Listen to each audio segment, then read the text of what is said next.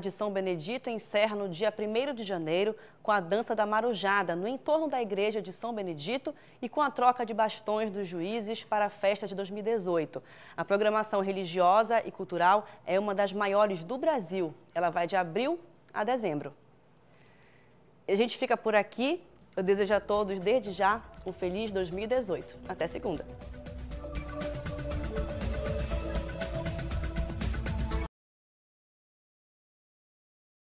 Música